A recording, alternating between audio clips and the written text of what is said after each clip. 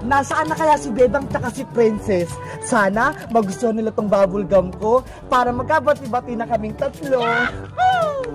Nanay, tatay, gusto kong dinapay. Ate, kuya, gusto kong kape.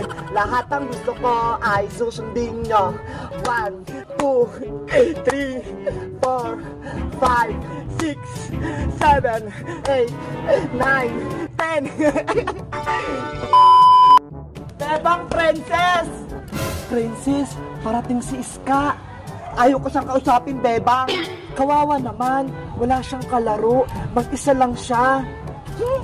Kasalanan niya kung bakit umalis si Emily. Bebang, Princess, ayaw niyo na ba akong kausap? Kasi si Princess, masama pa yung loob sa'yo, Iska. Ganun ba? Sayang naman, marami pa naman akong bubblegum na dala dito. May dala-dala kang bubblegum, Iska? Patingin! Hala, Princess, nakarinig ka lang ng pagkain, masaya ka na agad. Ito ho, cherry-cherry na bubblegum, ibibigay ko sana sa inyo eh. Patikim ako niyan. Oh, kunin mo na tong isang buong grapon, Princess. Tignan mo, Bebang, oh, puro kulay red. Pahingi din ako niyan. Oh, ikaw na unang kumuha.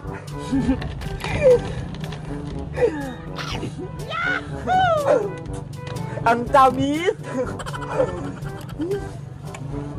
Ginagawa mo? Tignan mo, Bebang, magpapalobo ako.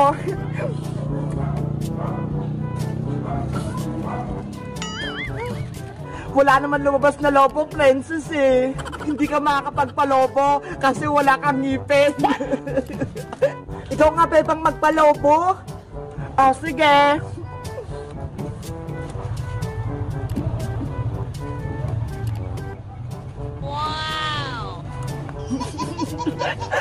Ang galing mo magpalobo, Bebang. Dumikit nga sa labi ko eh.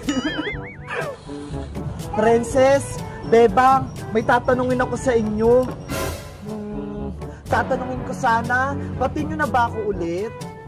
Hmm, pag-iisipan ko muna. Sige na, Princess, batiin na natin si Iska. Sige na nga, Iska. Friends na ulit tayo. Dahil binigyan mo kami ng isang gapong bubble gum. Totoo, Princess! Pati na tayo! Oo, malungkot din kasi kami kapag wala kang kalaro at kausap. Saka, namimiss ka na namin, Iska. Namiss ko rin kayong dalawa. Akala ko, hindi na tayo magkabati-bati. Hindi na tayo mag-aaway, ha? Para masaya na tayo lagi.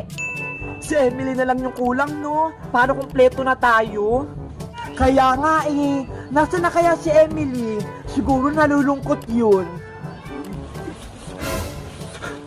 Kamusta na kaya si Ate Bebang tsaka si Ate Princess? Siguro masayang masaya na sila ngayon. Ako, ilang araw na ako dito sa ilalim ng tulay, mag-isa lang, tapos hindi pa kumakain. Gutom na gutom na ako. A few moments later. Malibos po, pwede pong pagkain. Hindi pa po ako kumakain. Gutom na gutom na ako. Wala pa rin nagbibigay. Princess, Iska, hanapin kaya natin si Emily. Sige, hanapin natin para makabalik na siya dito. Iska, kapag nahanap natin si Emily, wag mo siyang awayin ha. Hindi ah, mukha namang mabait si Emily eh. Kaya magkakasundo kami. Tara na, maghanap na tayo habang hindi pa padilim. Let's go! Operation Hanap, Emily! Wow! Emily? Nasaan ka na? Emily? Emily! Magpakita ka na! Bati-bati na tayo! Huwag ka nang magalit sa akin! Wala naman siya rito, bebang eh! Ate Bebang, nakita po namin si Emily. Totoo? Nasaan siya? Nasa tulay po siya ng lilimos. Hala! Kawawa naman si Emily! Wala siyang pagkain! Tara na, bebang! Puntahan na natin siya agad! Bilisan natin! Meanwhile, Wala pa rin sila Ate Pepang. Baka hindi na ako nila naalala. Ay aba, may bata doon ah. Mukhang walang kasama. Malapitan ko nga. Ining, mag-isa ka lang ba dito? Opo. Ano ginagawa mo rito sa may tulay? Nanghihingi po ako ng pagkain kasi tatlong araw na kaming hindi kumakain ni Totots. Sino naman si Totots? Akala ko ba wala kang kasama? Ito po siya, yung nag-iisang best friend ko. Ah, laruan lang pala si Totots? Hindi po siya laruan, best friend ko po siya. Ako pala si Aling Bruha. Ikaw, anong pangalan mo? Ako po si Emily. Emily? Bibigyan kita ng maraming pagkain. Gusto mo ba? Talaga po, Aling Bruha? Oo naman, para mabusog ka. Pero, kailangan mo sumama sa aking bahay. Hala, nasama ba po ako sa inyo? Oo, kasi nandun sa bayong maraming pagkain. May cake, may lollipop, may candy, chichirya, mga prutas, at marami pang iba. Ang sasarap po ng pagkain nyo, Ali Bruha. Gusto ko po yung mga yan. O ano, sasama ka ba? Mm, hindi po eh. Baka hinahanap ako ni Ate Bebang, pati na Ate Princess. Hindi nila ako makita. Hindi na darating yung mga kaibigan mo. Hinayaan ka na nila. Kaya sumama ka na sa akin. Ayaw ko po. Dito lang po ako sa may tulay. Huwag matigas yung ulo, Emily. Halika rito. Sumama ka sa akin. Ayaw ko po. Ayaw. Ayun na yung tulay. Wala naman si Emily dito eh. Baka umalis na siya dito. Bebang, di ba laruan niyo ni Emily? Oo nga no, si Totot. Naiwan siguro to ni Emily. Nako, baka may masamang nangyari kay Emily. May kumuha sa kanya, tapos nabitawan niya yan. Wag naman, sana nasa maayos ang kalagayan. Kawawa naman siya. Saan natin siya hanapin? A few moments later. O ayan, diyan ka na Emily, para hindi ka na makawala sa akin. Ali bro ha, patakasin niyo po ako dito. Ayaw ko dito. Alam mo ba kung ano laman itong plastic na to? Mga basura. Kaya ikaw, tutulungan mo akong mga lakal para magkapera ako. Kaya huwag kang patamad-tamad. Ayaw ko po mga lakal.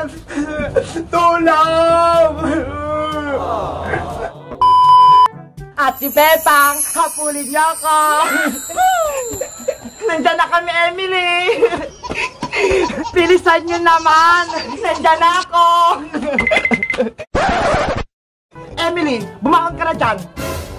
Habulin niyo ako. Hoy! Tanghali na? Nananaginip ka pa? Nasaan po si Ate Princess tsaka si Ate Pepang? Naghahabulan po kami eh. Wala yung mga kaibigan mo rito.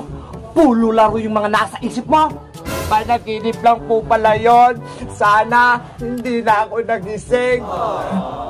Tumayo ka na dyan dahil marami pa tayong gagawin. Maghanap pa tayo ng mga bote at plastic. Hindi pa po ako kumakain eh. Gutom na ako. Mamaya ka na kumain kapag may nakita tayo sa basurahan. Akala ko po ba marami kayong masasarap na pagkain dito, Aling Bruha? Naniwala ka naman. Gutom na gutom na po talaga ako. Sa susunod kasi, huwag kang pag-alagala sa kalsada para walang kumuha sa'yo. Ibalik na lang po ako sa may tulay. Hinuhanap na po ako ni Ate Pepang at ni Ate Princess. Hindi pwede! Dito ka lang! Oh no! Tama na iyak mo! Tumayo ka na dyan! Ito yung sako! Lagyan na ng bote! Gusto ko na po umuwi! A few moments later. Bebang, kailangan nating mahanap si Emily. Naawa ko sa kanya. Paano? Hindi naman natin alam kung nasan siya. Magtanong-tanong tayo, baka merong nakakita sa kanya. Sige, para mabilis natin siyang mahanap. Doon tayo. Hello po, nakita niyo po ba si Emily? Ito po siya oh. May nakita ko dun oh, sa bakanting lote, nagpupulot ng basura. Totoo po! Tara na, Bebang! Puntahan na natin! Bilis! Sa wakas, makikita ko na rin si Emily! Yahoo! Ay, si Emily! Emily! Hindi ako si Emily. Hala, hindi naman siya si Emily. Ako si Ella Maganda. Nge, kamukha lang pala ni Emily. Nasa na kaya si Emily? Miss na miss ko na siya. Huwag ka nang umiyak, Bebang. Mahanap din natin siya. Pagod na pagod na ako. Wala pa rin ako makitang pagkain. Huwag ka nga dyan mag-inarte. Wala ka pang napupulot eh. Hinang-hina na po ako, Ali Bro. Ah, hindi ko na po kaya. Oh, no! Emily! Bebang, Princess, naririnig niyo ba yun?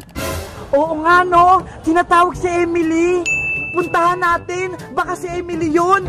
Tara! Emily, gising. Miss ka na. Ano pong nangyari sa akin, Aling Bro, ha? Natumba ka habang namumulot ng mga basura. Kaya po pala nahilo ako. O, ito pagkain para lumakas ka na nang makapagtrabaho ka ng maayos. Ito lang, hindi naman ako mapupusog dito eh. Yan lang meron ako eh. Kainin mo na yan. Mapili ka pa.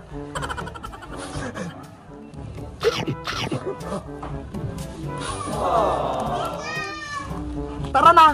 Maghanap pa tayo ng mga bote at plastic. Hindi pa nga ako magaling eh. One hour later. Bebang Iska! Ay, si Emily yun! Oo nga, no? Siya yun! Kawawa naman siya, namumulot ng basura. Emily! Ate Bebang! Ate Princess! Ate Iska! Sino naman itong mga bulilit na to? Ate Bebang, tulungan niyo ako. Kinuha ko ni Aling Bruha. Halika na rito, Emily. Umuwi na tayo. Sumama ka na sa amin. Ay, ay, ay. Hindi pwede. Dito ka lang, Emily. Ate Bebang, tulungan niyo ako. Pakawalan niyo po si Emily, Aling Bruha. Kaibigan po namin siya. Wala kayong magagawa.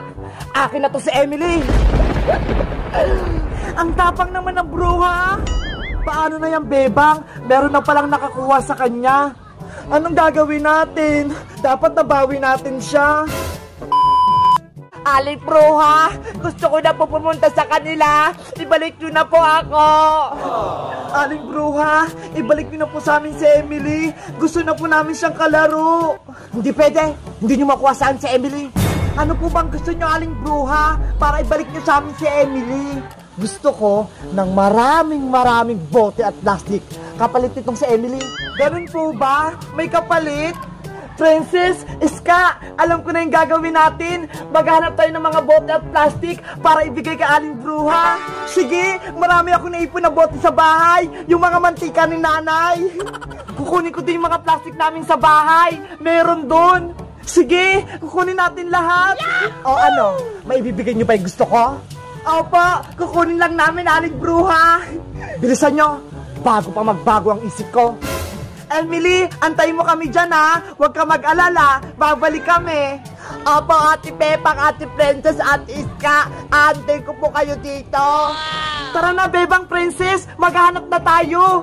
A few moments later. Aling Sonya? Ano yun, Bebang? Pwede po ba kaming makingi sa inyo ng mga bote at plastic? Kailangan po kasi namin eh, para mailigtas si Emily.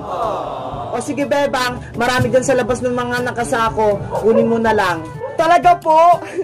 Maraming maraming salamat po, Aling Sonya. Yahoo! Ayan, marami nga dito. Matutuwa sa Aling Bruha nito. Bebang, Bebang! Ito na yung mga nakuha kong plastic sa bahay. Wow! Ang dami naman yan, Iska. Bebang, may nakuha na akong mga bote. Hala, princess, dalawa lang yung nakuha mo. Akala ko ba maraming bote sa inyong princess? Bakit ayun lang yung sa'yo? Si nanay kasi ayaw niyang ibigay yung iba. Siya na daw magbibenta para magkapera siya. Okay na yan. Bumalik na tayo kay Emily, pati kay Aling Bruha. Pagsama-samahin na natin sa sako yung mga nakuha natin. Tara na!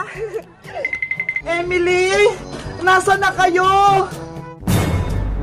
Aling Bruha? Nasaan na kayo? Ate Pepang, andito po ako. Akala ko, nawala ka na. Nasaan na yung mga bots at plastic? Ito na po, isang sako, punong-puno. Akin na yan, ilapit nyo rito. Ibigay mo na yan kay Aling Bruha, princess. Ito na po, Aling Bruha. Wow, ang dami. Isang sako. Makakapalit na rin ako kala Ate Pepang. Ibalik niyo na po si Emily Aling Bruha. Kapalit na binigay naming bote at plastic na isang sako. Emily, pumunta ka na sa kanila. Ate Pepang! Emily! Miss na miss ko po kayo, Ate Pepang, Ate Princess. Sa wakas, nakabalik ka na sa amin, Emily. Tara na, umalis na tayo dito bago pa tayo mahuli na aling bruha. Tara na, bilisan natin. Aalis na po ako, aling bruha. Bye-bye. Ang daming botang plastic nito. Ano ito? Mga basura? Mga kalat? Walang botas plastic? Aling bruha, bebe, bebe, bebe. Hindi naman plastic at bote yung binigay namin eh. ah, niloko niyo akong tatlo. Ibalik niyo sa akin si Emily. Mabuti na lang, bumalik ka na, Emily. Oo nga po, Ate Pepang eh. Akala ko, hindi na po tayo magkikita. Oh, ito, may ibibigay ako sa'yo. Wow! Si Totots ko! Mabuti nakita niyo po siya, Ate Pepang!